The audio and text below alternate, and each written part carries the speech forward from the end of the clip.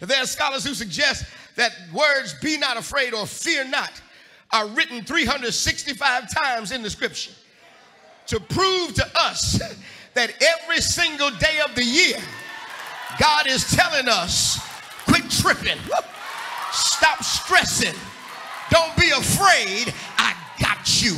I'm talking to somebody in here who came in here bearing your baggage and you worried about how you in the world you gonna handle 2020. I that every day of the year, your God is saying, if you trust me like you say you do, if you do all that shouting like you did in the last hour, if you do all that singing about me, be not afraid. It is I.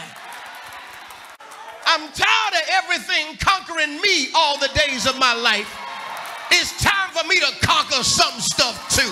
I wish I had somebody in church tonight who said, I'm not going into 2020